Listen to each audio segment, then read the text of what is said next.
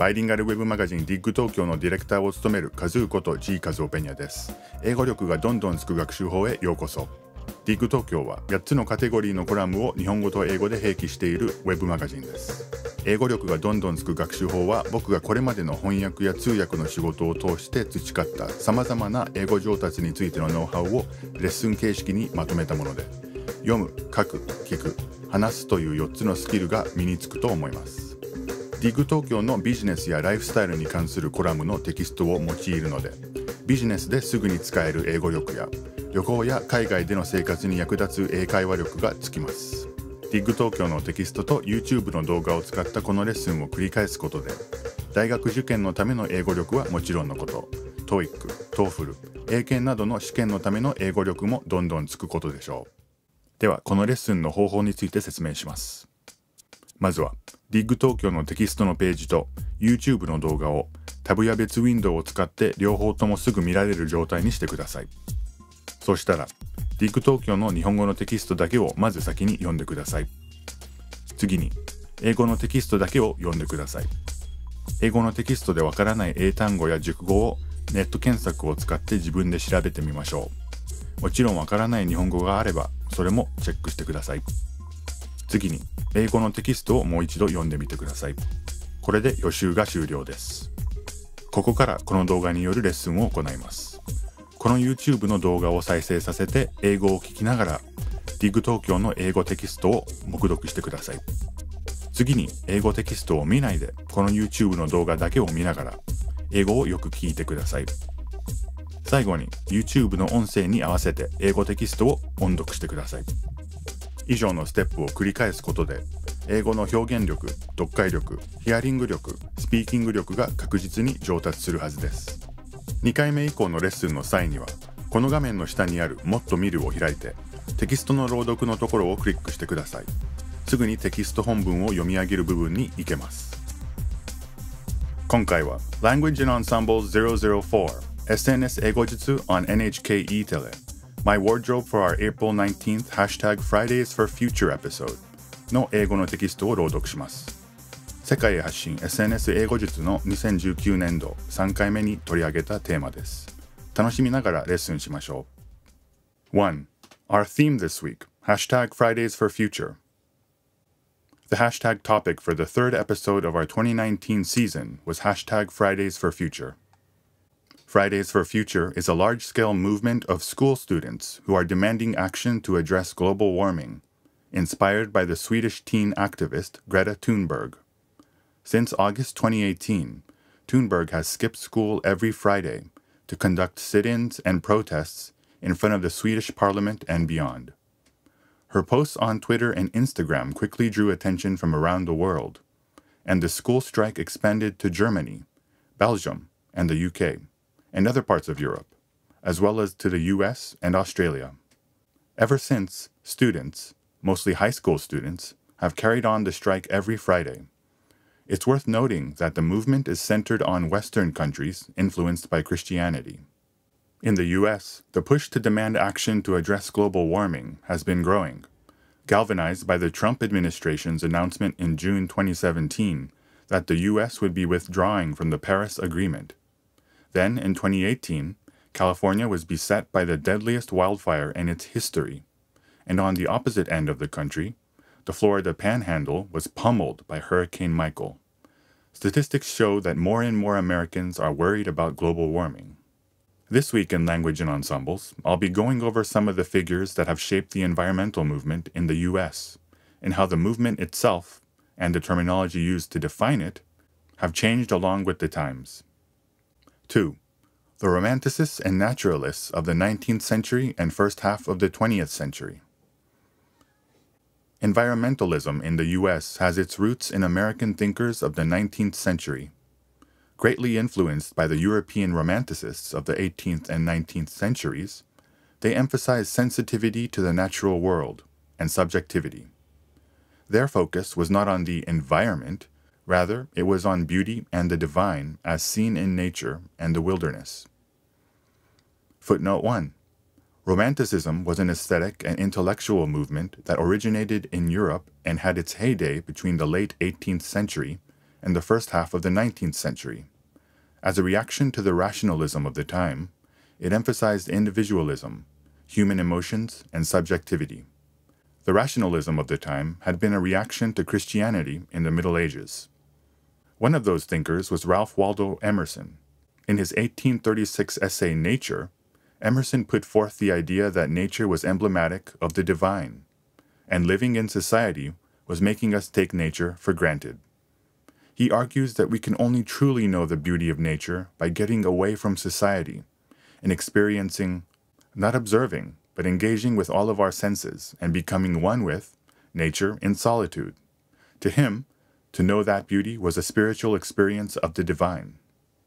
Footnote 2 Ralph Waldo Emerson was an American philosopher, essayist, and poet. He was an advocate of individualism and is remembered as a leader of the Transcendentalist movement. Footnote 3 Transcendentalism is an American intellectual movement of the 19th century that was greatly influenced by European Romanticism. Its tenets include individualism, idealism, the mysticism of nature, and the idea that humans can understand truth through intuition. Thinker Henry David Thoreau, who read Nature while he was attending Harvard College and became closely acquainted with Emerson, took Emerson's philosophy and expanded on it. Encouraged by him and his teachings on solitude and self reliance, he spent more than two years staying in a small cabin in the woods by Walden Pond in Massachusetts, living almost entirely off the land. He wrote about his experiences and the beauty of nature in his seminal book Walden, which would greatly influence the environmental movement to come. In his writings, he also put forth the idea that untamed nature, removed from civilization and society, was emblematic of freedom, and that humans could gain autonomy and learn to be free thinkers by experiencing the wildness of nature. In this way, Thoreau justified civil disobedience and greatly inspired 20th century political and social activists such as Mahatma Gandhi. Footnote 4 Henry David Thoreau was an American writer, thinker, poet, naturalist, and historian. Footnote 5 Civil disobedience is the active, professed refusal of a citizen to obey certain laws, demands, orders, or commands of a government or occupying international power. From Wikipedia. Footnote 6 Mahatma Gandhi was a lawyer, religious, and political leader who advocated nonviolent resistance as a way to induce social change. He is remembered as the leader of the Indian independence movement against British rule. Thoreau's writings deeply moved the Scottish American naturalist John Muir, another key figure of environmentalism in the U.S. Muir recognized the human conceit inherent to the individualism and self reliance extolled by transcendentalism, and advocated a more ecocentric and biocentric view, a symbiotic relationship between humans and nature. The settlement of the American frontier and the gold rush brought an influx of people to the West Coast, and as plans moved forward for the reclamation of the vast wilderness, Muir argued passionately for its preservation. He devoted his life to protecting America's natural lands, especially the Sierra Nevadas, a mountain range that runs along California's eastern border. For that reason, he is remembered as the father of America's national park system. Footnote 7. John Muir was an influential American naturalist, author, and botanist. Footnote 8. A naturalist is a student and observer of nature, fauna and flora, and natural history. By contrast, Gifford Pinchot, a Republican politician and the first chief of the United States Forest Service, held the view that our natural environment was a resource and that wise use of that resource would constitute the highest use of nature. To take an extreme view, for preservationists like Muir, there was inherent value in nature itself. For conservationists like Pinchot, the value was in how renewable natural resources could be used in a sustainable manner for human benefit. As the frontier was settled and developed in the second half of the 19th century and early 20th century, this point would prove to be a divisive one for environmentalism. Footnote 9. Gifford Pinchot was a Republican politician and forester. He called conservation the art of producing from the forest whatever it can yield for the service of man. The photographer Ansel Adams is another important figure of the environmental movement in the U.S. Born in San Francisco, at 17 he joined the Sierra Club, an environmental organization founded by Muir, and explored the Sierra Nevadas as a mountaineer as he honed his photography skills. His aesthetic is characterized by sharp focus, rich tonal detail, and the meticulous effort he put into development. The resulting photographs capture the majesty of the natural lands that Muir fought so hard to preserve, and played an integral role in drawing attention to environmental issues. Footnote 10 Ansel Adams was an American photographer and naturalist. He is remembered for his black and white landscape photography of Yosemite and the Sierra Nevadas. Ansel Adams, 400 photographs. This is a collection of 400 of Adams' best work spanning the entire length of his career. 3. The hippies and tree huggers of the second half of the 20th century. By the 1960s, the word environmentalism had come into widespread use.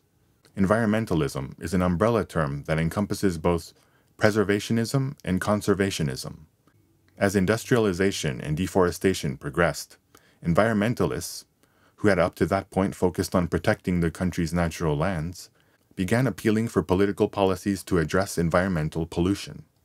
This new form of environmentalism developed alongside, and indeed overlaps in many ways with, the hippie movement of the 60s. The hippie movement was a counterculture movement, partly centered in San Francisco, that drew inspiration from Thoreau's message of free thought. Hippies grew their hair long and wore jeans and sandals, or went barefoot, as a way to question social norms. Men grew out their beards, and women went braless and without makeup. They got their clothes at second-hand shops and practiced a lifestyle that was in direct opposition to corporate culture and consumerism. They sang the praises of the Back to the Land movement, organic farming, and alternative sources of energy. In adopting the iconic peace symbol, advocated for pacifism, an end to war, and civil rights.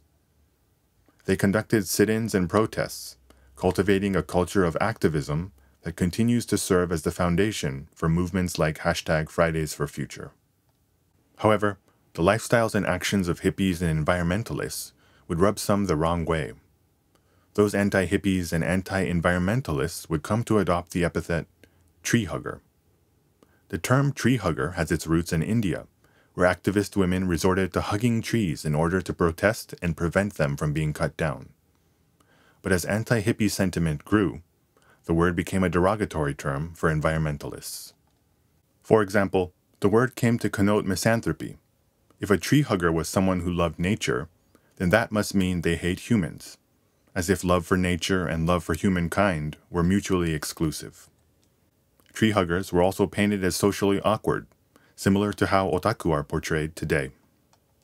Furthermore, in America's male-dominated society, the act of hugging has long been associated with mothers and children, an effeminate and sentimental act. In other words, to call a woman a tree hugger would be misogynistic, and to call a man a tree hugger was to insinuate that they were not a man, or to put it more plainly, that they were homosexual. In this way, those opposed to the hippie movement and environmentalism painted those who advocated for environmental issues as weak and unworthy of being taken seriously.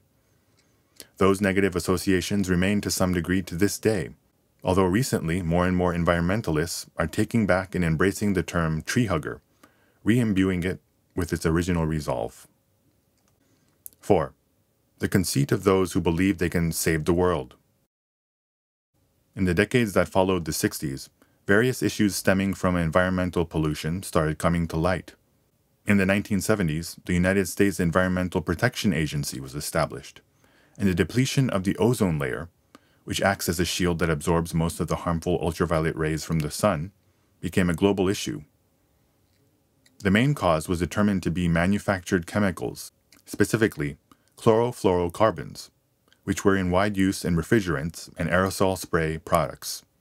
And ozone loss was seen as a major threat, resulting in increased rates of skin cancer. In the 80s, Acid rain and groundwater pollution became the environmental issues of the day. The debate regarding nuclear power also reached a peak, with the Three Mile Island accident in 1979 and the Chernobyl disaster in 1986. By the end of the 80s, the fight to save the rainforest was underway. In the 90s, global warming became an issue that transcended national borders. These days, the term global warming is seen as interchangeable with climate change, but growing up, I distinctly remember the former being the predominant term being talked about, as well as the one we learned in science class. Kids, myself included, feared that the Earth was on its way to becoming one massive sauna. Then in the 2000s, climate change came into widespread use, about a 50 50 split with global warming. In recent years, however, climate change seems to have become the preferred term. I imagine that has something to do with the fact that global warming sounds like a steady, linear rise in temperature, which can be debunked by the odd cold spell, while climate change more accurately characterizes a planet beset by the myriad effects of environmental pollution. It was against the backdrop of the global warming debate that former U.S. Vice President Al Gore captivated a nation and the world with the 2006 documentary An Inconvenient Truth. While many have criticized the way the film exaggerates its presentation of data as fear mongering, it is inarguable that the film raised awareness around the world regarding environmental issues. Footnote 11 Al Gore is an American politician he served two terms as vice president under President Bill Clinton. In 2000, he ran for president, but lost to George W. Bush after a heavily disputed Florida recount. Footnote 12 An Inconvenient Truth, Director Davis Guggenheim. This documentary is anchored by a slideshow presentation by Al Gore about the effect of global warming on the planet. The film won the Academy Award for Best Documentary Feature and Gore would later be awarded the Nobel Peace Prize for his efforts to disseminate information about climate change. As a result of all of these environmental movements and efforts, people are increasingly conscious about leading an eco friendly lifestyle that minimizes personal carbon footprint. These types of lifestyles are sometimes called lifestyles of health and sustainability, or LOHAS. And our environmental vocabulary has expanded accordingly. For example, People who prefer to eat foods that are grown and produced locally are known as locavores. People who seek out partners who share their eco friendly lifestyles are known as ecosexuals. An awareness of environmental issues has become integrated into the very fabric of our social lives. Footnote 13 Carbon footprint refers to the total amount of carbon dioxide emissions produced by an individual, organization, or company as a result of its regular activities. Footnote 14. LOHAS is an acronym for Lifestyles of Health and Sustainability and is a commonly used term in Japan, brought into common parlance by advertising agency giant Dentsu. From a different standpoint, however, it can be argued that it's not so much that adherents revere nature or the environment, rather, they are using nature and the environment as causes through which to define their own identity. The conceit that nature is under the domination of human beings can also be seen in slogans of the environmental movement like Save the Planet. In this way, words can be used to express who we are, or used as weapons to diminish others. And it is important to remember that they are also tools that we use to put our environment and our planet under our dominion. 5. What living in Japan has taught me. Back when I was a teenager living in the States, I lived under the assumption that nature and humankind were at odds with one another, and environmental issues existed as a way to overcome that adversarial relationship.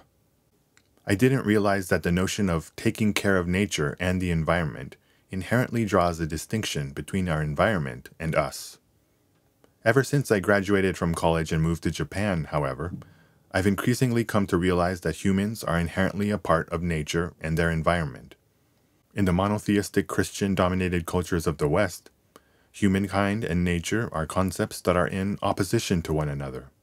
However, in cultures defined by Shinto, Hinduism, and Buddhism, all polytheistic religions, the unification of humans and nature is seen as good. Footnote 15 Monotheism is the doctrine or belief that there is but one God. Merriam Webster. Footnote 16 Christianity is the religion derived from Jesus Christ, based on the Bible as sacred scripture, and professed by Eastern, Roman Catholic, and Protestant bodies. Merriam Webster. Footnote 17. Shinto is the indigenous religion of Japan, consisting chiefly in the cultic devotion to deities of natural forces and veneration of the emperor as a descendant of the sun goddess. Merriam Webster. Hinduism is the dominant religion of India that emphasizes Dharma with its resulting ritual and social observances and often mystical contemplation and aesthetic practices. Merriam Webster. Footnote 19. Buddhism is a religion of Eastern and Central Asia, growing out of the teaching of Siddhartha Gautama, that suffering is inherent in life and that one can be liberated from it by cultivating wisdom, virtue, and concentration. Merriam Webster. Footnote 20. Polytheism is belief in or worship of more than one God. Merriam Webster. Over the 10 plus years I've lived in Japan, I've experienced numerous natural disasters, such as the 2011 Tohoku earthquake, but I've also experienced the many blessings of nature, namely subtle seasonal changes throughout the year, and how that fosters the delicate seasonality of food ingredients. In the US, the notion of helping those who are less fortunate and engaging in volunteer work often stems from Christian beliefs. When you look at something like the outpouring of support in Japan for those affected by natural disasters, the bonds appear to sprout spontaneously, naturally. This notion is perhaps best embodied in Emperor Akihito of Japan, who has aged with grace and will be abdicating at the end of April. He stands in contrast to the kind of wealthy Americans who attempt to retain the appearance of youth for as long as inhumanly possible. 6. My wardrobe this week. Yellow chinos by Brooks Brothers. Like the pink chinos I wore last week, these yellow chinos are from Brooks Brothers casual line red fleece, 10,000 yen plus tax. For the longest time, my wardrobe was all dark blues and blacks, with pastel colors nowhere to be found. This spring and summer, my mission is to wear these two chinos until I'm pulling them off with aplomb. Beige Socks by Tabio. These are beige silk and cotton business socks, 1800 yen plus tax, from sock store Tabio's location in Omotesando Hills. The sole is cotton and the rest is high quality silk. Red Jacket by Zerbino. Red button down shirt by Shibuya Seibu. Square wooden cufflinks by MFYS. Chukka boots by Red Wing. Brown Glasses by Zoff. 7. Notes from my stylist Scarlett on this ensemble. As Kazoo has mentioned numerous times in the past, the show is shot against a blue screen, meaning that his wardrobe cannot contain any blue.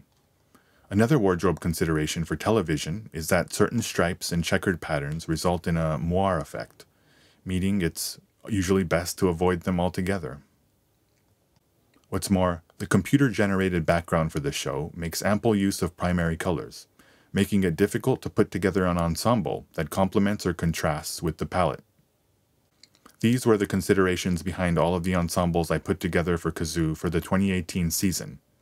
Although challenging, I feel like I have finally gotten a grasp of the kinds of looks that work well for the show.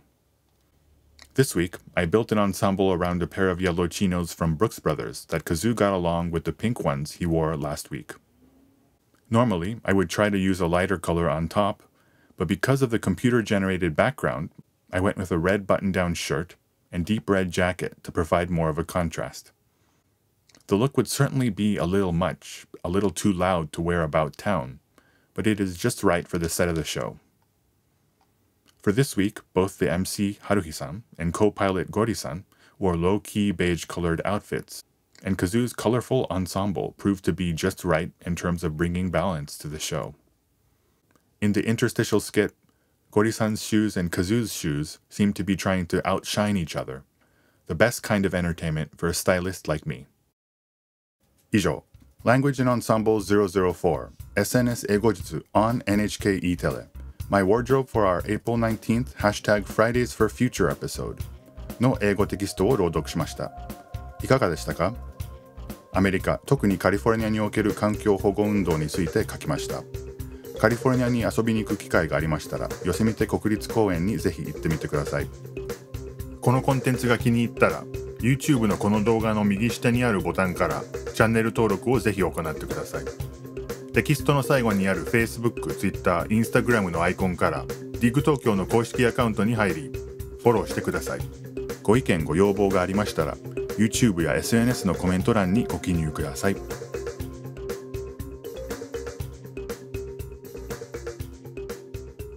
www.digtokyo.jp